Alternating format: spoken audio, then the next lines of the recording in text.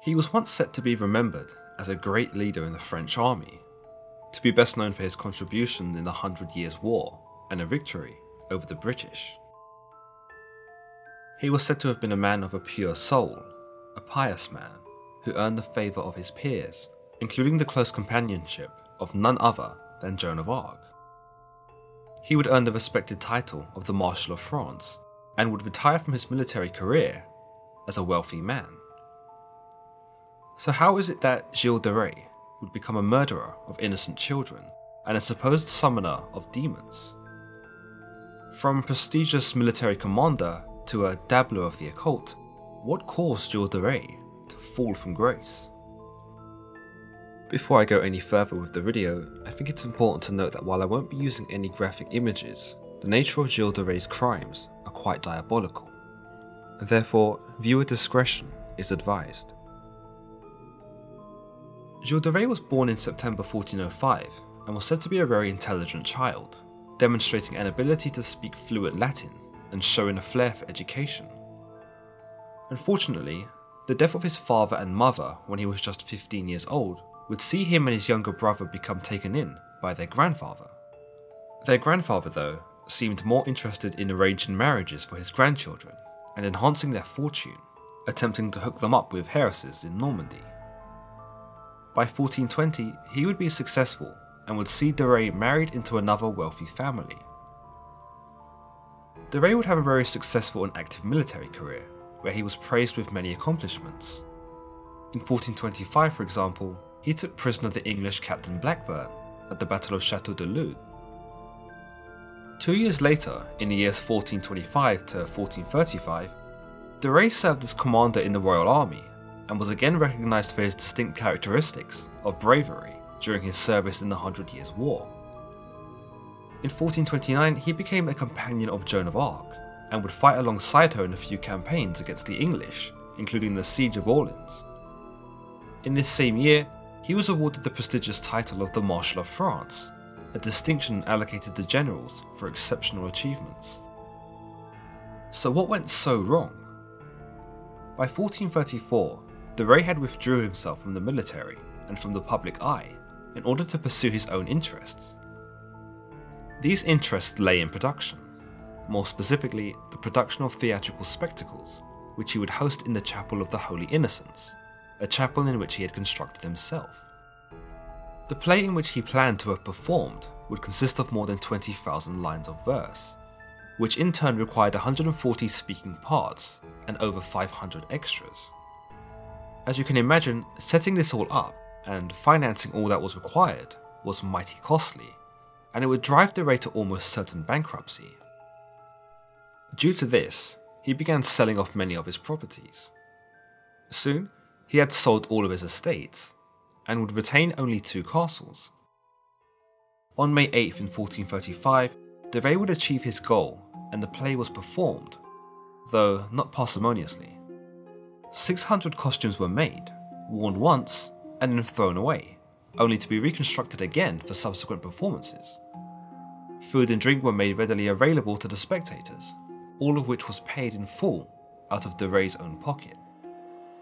His family members grew concerned with his sumptuous appetites. They appealed to the Pope to disavow the chapel in which de Rais had built in order to discredit it, but the Pope refused. And so his family went to the king to raise their concerns, where a royal edict was proclaimed.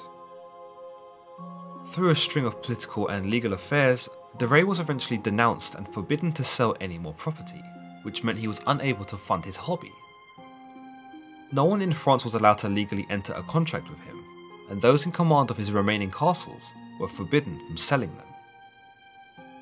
With no way of making money, now that he couldn't legally enter a contract with anyone, de began to borrow money. Given that he was desperate to fill this seemingly large void in his life that could only be filled with the extravagance from his theatrical shows, it could certainly be his motivation for turning to the occult. He was desperate for money desperate to find a way in which to fund his luxurious lifestyle. According to the testimony from his trial from a priest named Blanchet, de Rais sent out Blanchet to find anyone who knew about alchemy, as well as the summoning of demons. Blanchet was able to find a cleric named Francois Prelati in Florence and persuaded him to return with him to France so that he might teach Rais in the ways of the occult. Using books provided to him by Prelati, Rais chose to begin experimentation with the occult in the lower hall of his castle, attempting to summon a demon named Baron. Rais was said to have failed several times with the summoning until Prelati explained that Baron first required an offering in order to achieve the attention of the demon and warrant a visit from him. This offering would come in the body parts of children. In his confession, de Rais mentioned that the first assaults on children occurred in the spring of 1432 and the spring of 1433. There are quite a few twisted accounts, though few records to actually back any of them up, other than his confession. In one account, he ordered the killing of several children after having lured them to one of his properties in Machecoul before sodomizing them. Whether this was part of his deal with the Demon Baron, or for the sake of his own deviancy or insanity, is unknown. Like the witch trials, there are many who believe that the involvement of the so called Demon Baron was a politically charged statement that de Rais was forced to confess to. One of the first documented cases of child snatching by de Rais is a 12 year old boy named Jeudon, an apprentice to a furrier. In fact, it was de Rais's cousins who took the boy and claimed that they were using him for an errand.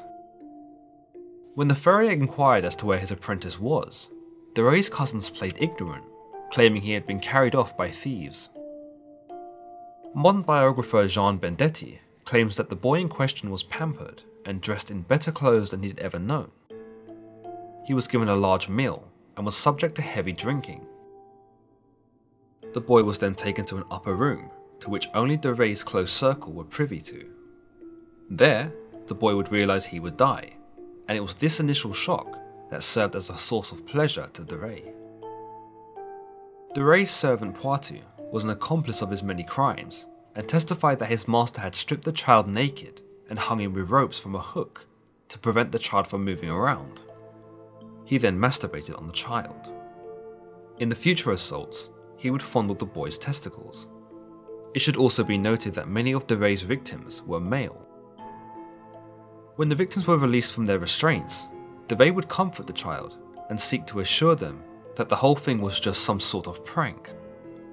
Upon receiving the child's understanding, he would kill the child or have one of his close circle do it, usually via decapitation or by the slitting of the throat. Other times he would disembowel them entirely, or break their necks with a stick. A short, thick, and double edged sword, called a brachma, was often kept on hand to be used as the murder weapon. In his own confession, de testified that he would kiss the children once they were dead, and that those who had the most handsome heads would be held up to admire. He would then take delight in cutting open their bodies and staring in wonder at the sight of their inner organs. He also claimed that when the children were dying, he would sit on their stomachs and took pleasure in watching them die, sometimes even laughing. Poitou testifies that he and the others of the inner circle of de had burned the bodies in the fireplace in de room. This was done piece by piece, so as to minimalise the stench that would have surely risen suspicion. The ashes of the bodies were thrown into the cesspit, the moat, or other non disclosed hiding places. It's such a sickly thing to imagine, but one can only wonder why de Rais had taken this so far. It must be asked again whether this was a form of his own insanity, or whether he was indeed receiving some form of gratification, whether sexual or otherwise, from these gruesome acts. If you recall, the cleric Prelati informed de Rais that the demon baron would need the body parts of children in order for a deal to be conceived. But he doesn't appear to state anything of the sort, in which de Rais was eventually said to confess to.